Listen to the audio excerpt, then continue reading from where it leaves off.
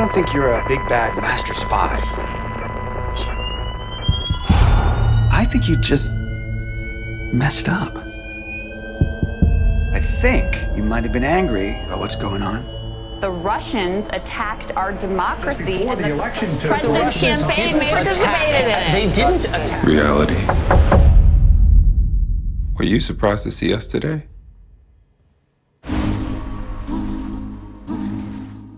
We are concerned with the leak. insider threat. This is my partner, what partner? Wally Taylor. Hey, how are you? We have a search warrant for your house. Oh my goodness, okay. Would you like to see it? Yes, please.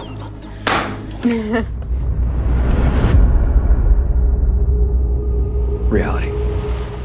What if I said that you printed out classified information? That document has made its way outside of NSA.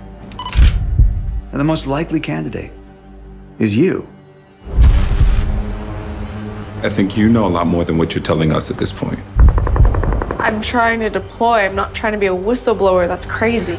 Look, I'm here. Telling a lie to an FBI agent is not going to be the right.